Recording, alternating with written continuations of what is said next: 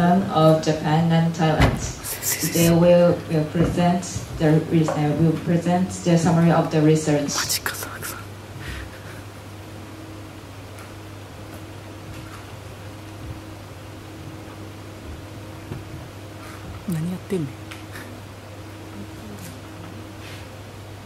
Our, our group consists of five members. First and Bank and five from Chulalongkorn University and Ilhan and me from Tokyo Tech. We took this picture in the restaurant in Bangkok.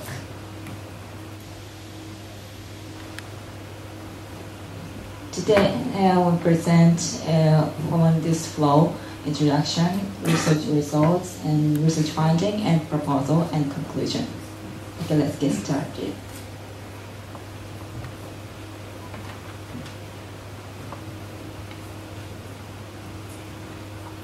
Okay, as you know, we have many uh, problems in education field, and we have many solutions in different places. But we can't copy the solutions from one place to, do, to use in the another place by not changing anything, right? So that we have to learn from the solution in uh, another, place and try to adapt or setting uh, and learn the different culture and uh, uh, have to adapt uh, for solving the education problems uh, in some way. Okay. Uh, sorry. Um, when we start this class, uh, we have to uh, learn about Thailand and Japan. So we discussed uh, in uh, two sides, uh, and we have to uh, learn from uh, side. So we went to many places in Thailand and um, learn from direct experience. Okay, after we learn from many experts, uh, we have to conclude the idea that we learn uh, by using the first aid techniques. Uh, for conclude the way that uh, we should uh, should be focused. After that, uh, we discuss by using like call. Okay.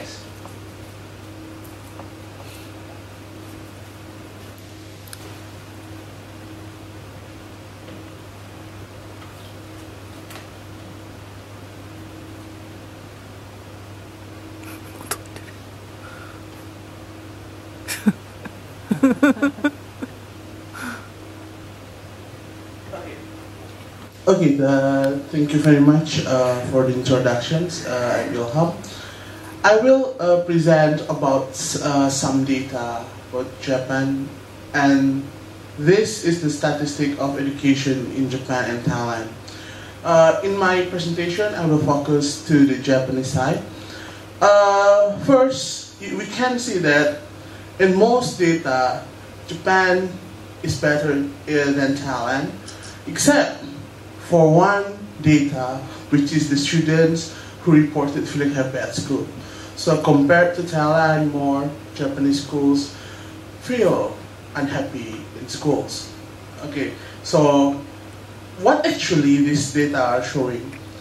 The first and the second data, well, personally, I am not surprised because Japan has a decent, decent education systems um, the basic, the elementary, and the secondary education is an obligation in Japan. So Japan should not have any problem with the literacy rate and uh, the number of students that go to the secondary education. In addition, the um, education in Japan also accommodate various career track. So after you graduate from the uh, junior high school, you not only can proceed to the high school, but you can also proceed to vocational schools or the specialist training, college or Koto Seimongakko. And so uh, there should no problem with this. And about the teacher and student ratio, this is good thing, but we can also detect another problem. You know the number of children in Japan is sharply decreased nowadays. So uh, we expect that not only the number of the teachers increase, but the number of students decrease, so the ratio becomes uh, larger and larger. Uh, and how about the last data, fourth uh, data? We believe that this caused mainly by the intense examination pressures most of students focus on the entrance examination. They believe if they can proceed to good university, they can get good job, and that's the matters, nothing else. So they can enjoy their learning activity, and we also obtain some facts that shows um, most of teachers only focus on the exercise and forgot to do the um, what is called the experiment activity such that the many students in Japan did not experience any experiment during the high school studies. And we also, yeah, uh, it's related to the static educational environment. That's why uh, this fact motivate us to arrange the experimental-based education system using the ICT like we are did uh, uh last week. Okay, that's all my presentation.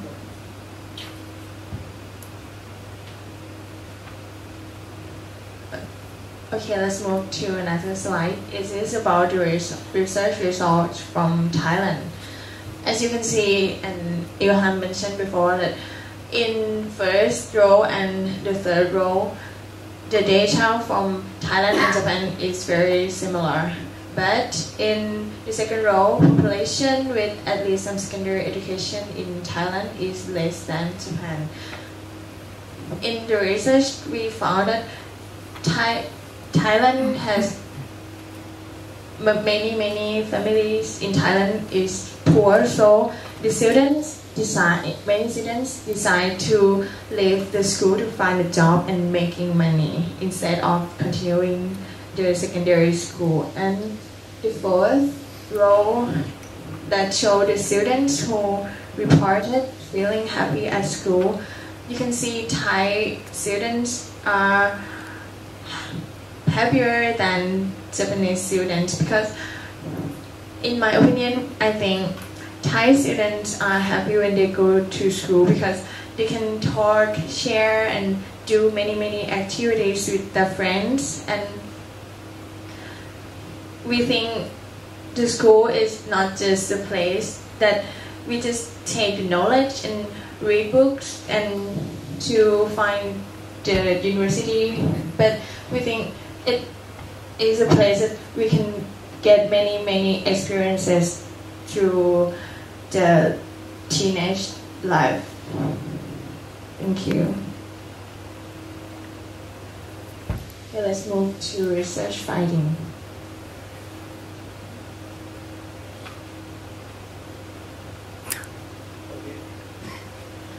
Okay, uh, let's we talk about what we find next. What? Okay, first let's start with the commonality between Japan and Thailand. Uh, first, it's clearly Japan and Thailand have similar political systems. Uh, however, in Japan we call the emperor, but in Thailand they call uh, the, their leader king, but there, we also have a prime minister. And uh, both countries also utilizing uh, is, uh, are also utilizing what is called the ICT-related education program. In Japan, there's a Hoso Daigaku program or Broadcasting University program, while in Thailand, there's have the Royal Thai project. The Royal Thai project is basically a project to broadcast the course from the big city uh, to the so that the students in rural area who cannot access the higher education can still learn. You know that uh, in Thailand, they are still in dealing with the issues which the number of schools cannot accommodate the number of students that want to study. So yeah, we can see that uh, the teachers uh, and student number uh, not good in Thailand.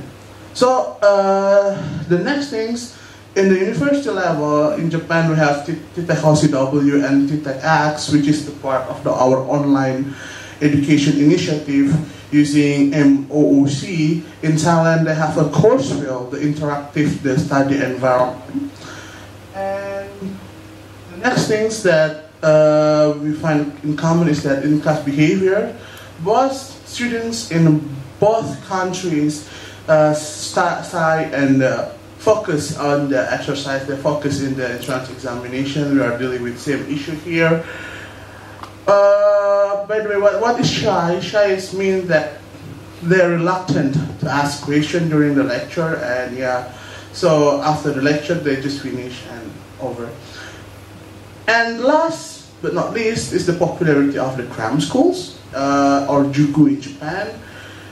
Uh, the, both in, in countries we observe that uh, is popular, but in Thailand, uh, like uh, this argument, why I uh, choose this personally, because this uh, juku is utilizing the ICT technology, so students don't have to go to the place; they can access the material online and learn anywhere. But why this is so important for Thailand? Because Thailand is dealing with the very, very bad traffic jam problem. So it, you will have to spend a lot of time to uh, travel from one place to another place. That, that's why the such system is very significant. Okay, that's my part.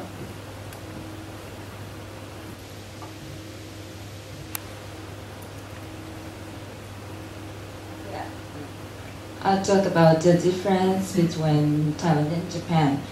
We find many differences between two countries. For example, the, uh, the university entrance system, uh, entrance exam systems, or the equipment in the high school.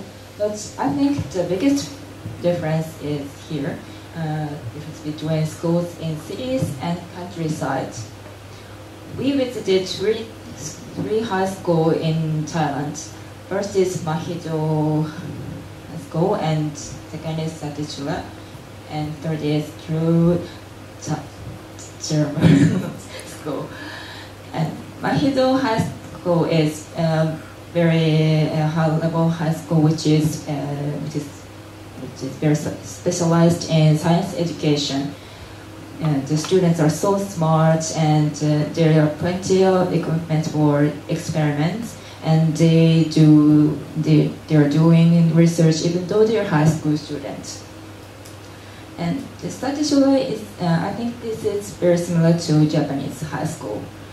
And the last uh, this high school is um, uh, is located in countries uh, in countryside of thailand and um, there are few schools in countryside, and the government trying to uh, establish schools, but there is not enough. And mm,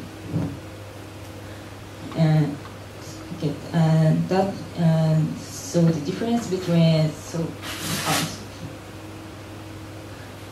between level school and not so level school is very big uh, uh, but there are no. Uh, in Japan, there are some high-level schools such as we such as the high school visited last week, but I think there are not so much difference in Japan in cities and countryside. And that's why uh, there are so many city equipment in Thailand.